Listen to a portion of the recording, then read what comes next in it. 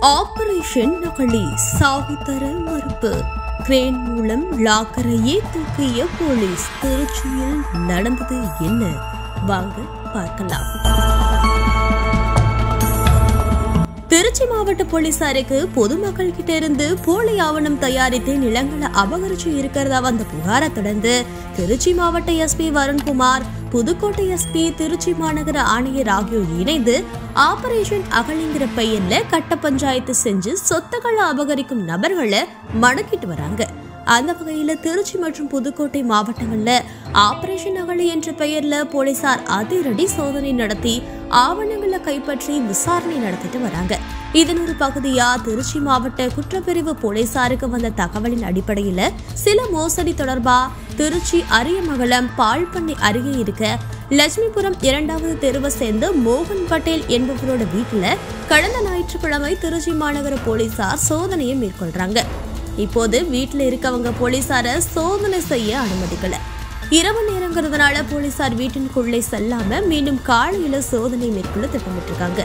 இதனைத் தொடர்ந்து அன்றைய தினம் இரவு முழுவதும் வீட்டை சுற்றி போலீசார் காவல் பணிக்கு அமர்த்தப்பட்டிருக்காங்க இந்நிலையில மறுநாள் பனிரெண்டு மணி நேரம் காத்திருந்து திறக்கப்படாததுனால அன்றும் காத்திருக்காங்க. பின்னர் போலீசார் அங்கிருந்து கலைந்து சென்றிருக்காங்க.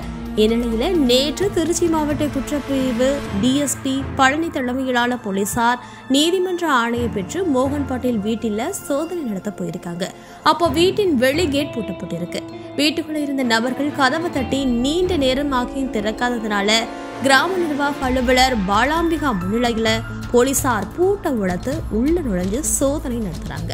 மதியம் இரண்டு முப்பது மணிக்கு ஆரம்பிச்ச சோதனை தொடர்ந்து ஏழு மணி நேரமா நடைபெறுது.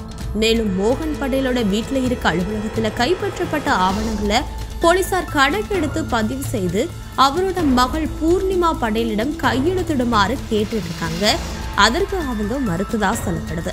மேலும் அங்கு கைப்பற்றப்பட்ட ஆவணங்களை போலீசார் பாதுகாப்போடு எடுத்துட்டு போயிருக்காங்க.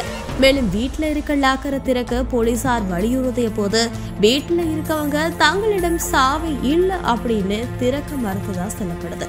இதனைத் தொடர்ந்து போலீசார் சுமார் ஐநூறு எடை கொண்ட லாக்கரை அங்கிருந்து தகர்த்துட்டு நீண்ட போராட்டத்துக்கு பிறகு வெளியே தூக்கிட்டு வந்திருக்காங்க. கிராம நிர்வாக அலுவலர் முன்னிலையில சீலும் வைக்கப்பட்டிருக்கு. ஐநூறு கிலோ எடை கொண்ட லாக்கரும் அங்கிருந்து வெளிவந்திருக்கு.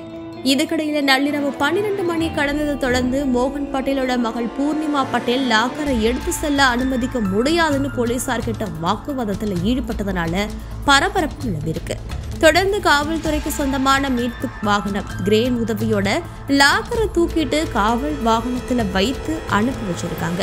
இந்த லாக்கரை நீதிபதி முன் திறக்கப்பட்டு அதுல இருக்க ஆவணங்கள் கைப்பற்றப்படும்னு சோதனையில ஈடுபட்ட போலீசார் தெரிவிச்சிருக்காங்க.